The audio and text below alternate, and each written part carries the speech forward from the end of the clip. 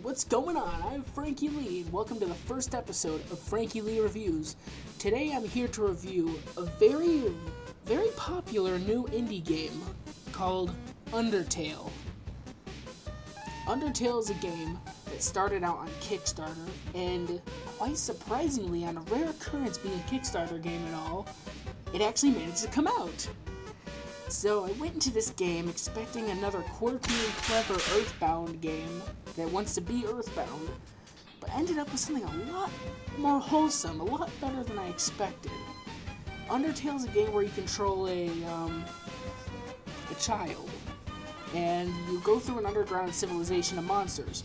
Some will try to hurt you, some will try to kill you, some just won't give a damn. But that's one thing. Every character and NPC you meet is gushing and just filled with unique character. Even the villains. I mean, hell, even the villains can turn out to be your friend if you try hard enough.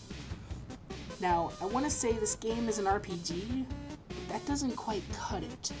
When you run into a random encounter, the game is more like a rhythm game or a shmup, depending on which route you take. Now that's another thing I need to talk about.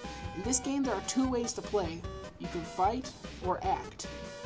Fighting will be treated like a regular RPG with time hits. Timed hits. and EXP and leveling up. I'm not going back and editing that.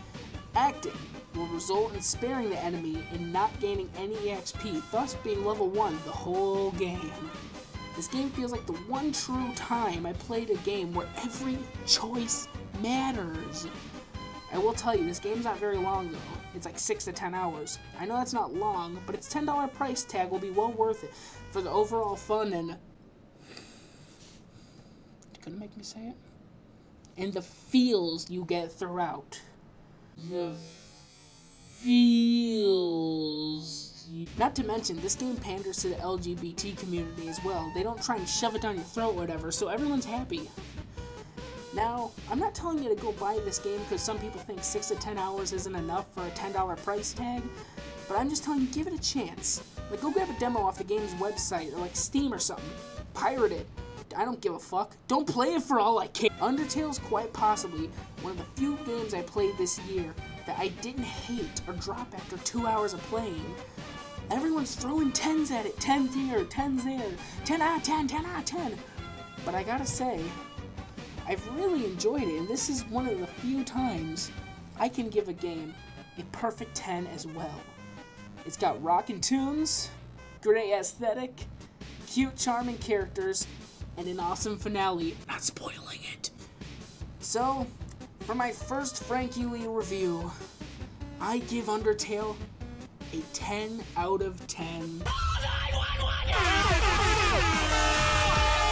See you all next time. Peace out. Wow, Undertale actually managed to be the number one PC game on Metacritic. Oh man! You know, I want to do a review on these. These keep me going.